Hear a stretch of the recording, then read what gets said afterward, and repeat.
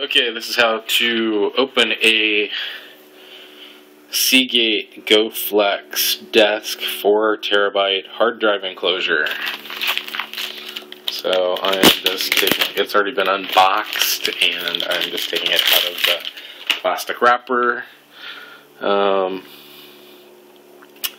just note that some of the other units that I've opened don't have a plastic uh, cellophane protector here. And they're slightly the they were easier to open than this these ones that have this plastic strip covering around the outside edge here. Uh, just unsnap the SATA uh, to USB 3 adapter. And then the next thing I do is the this plastic, this cellophane out of the way. I'm not actually removing it, I'm just moving it out of the way. This is a, a Starbucks coffee cup uh, seal so that when you're transporting it, it doesn't spill. And I use it instead of a spudger because they don't cost anything and uh, I can go get one anytime I want and it's kind of convenient that way. So um, it's a little bit more flexible. Well, it's a lot more flexible than most of the spudgers that are out there. But it still won't mark or scar.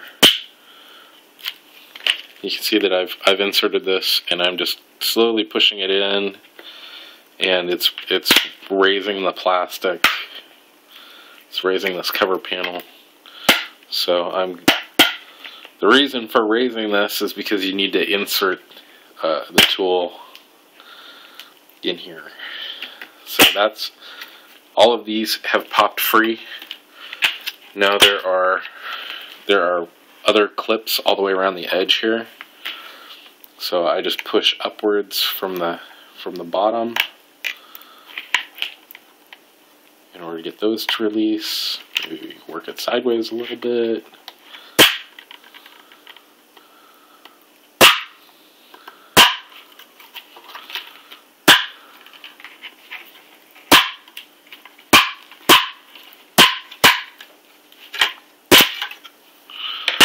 Okay, so now that's off, you can see the sticker, one of the stickers of the hard drive inside there. Um, one thing to note is that, okay, the orientation of the hard drive, so here's the, the SATA connector, and that is going to be the side that it stays with. So this panel, there's an edge right here that goes around um, this side and the rest of this unit, all of this down here is all one piece. So it's just a two piece unit and then the drive is inside.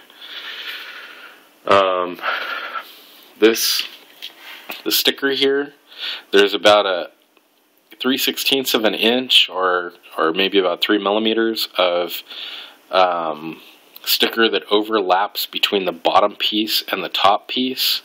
And it's going to be, when, when you remove it, it's going to be left hanging there and not uh, adhered to anything.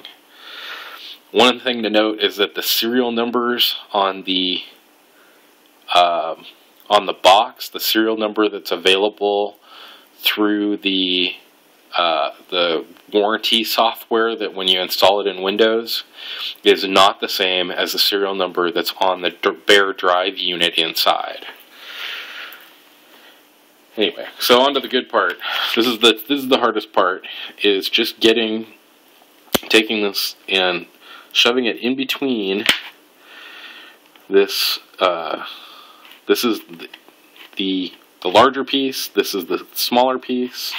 So I'm the orientation here is to go opposite where the slot is for the SATA power connector. So I'm inserting this in between the two. This is releasing that tab or latch and then I'm putting my fingernail underneath this corner here and pulling it free.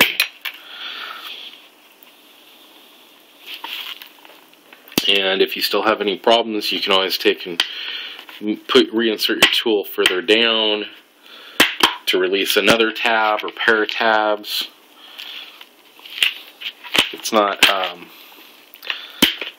you know, I've done this uh, half a dozen. This is this will be the sixth one that I've opened, so it's still I have some difficulty with it. It is not a, a precise process. But this is the easiest way I've found to do it.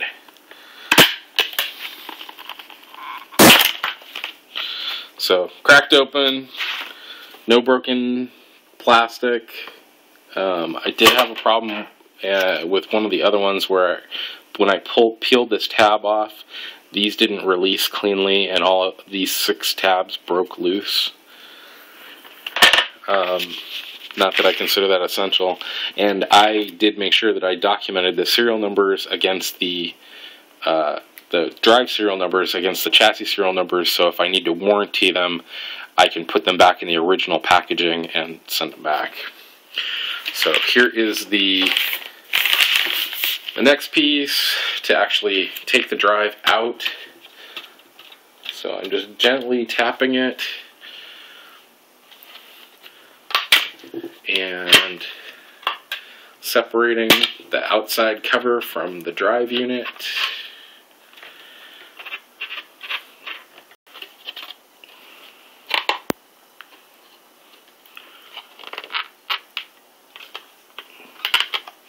Which I'm making it look more difficult than it actually is. So it's got these, the, the bare drive has these little rubber uh, vibration dampeners and if you if you just gently peel up on the on the outside edge maybe rock them a little bit it works better at like 65 degrees Fahrenheit and up it's a little cold in here this morning. Um, so the adhesive doesn't really want to come loose.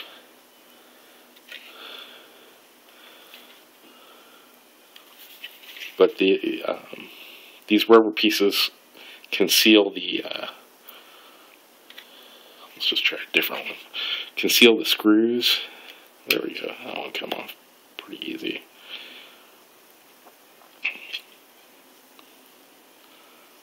so just being gentle about it and uh, so there's the the adhesive that's left on the foot I just stick them back on and then remove my screws. Um, I'm not going to demonstrate that, but that's that's how you get a uh, Barracuda XT 4000 gigabyte, also uh, known as a STD.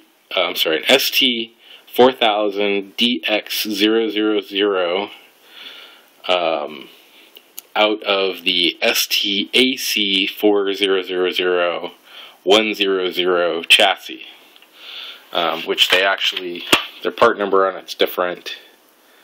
Uh, but that's the that's the that's the model number that I searched for in making my purchases. Um, anyway, that's it. If you have any questions, let me know.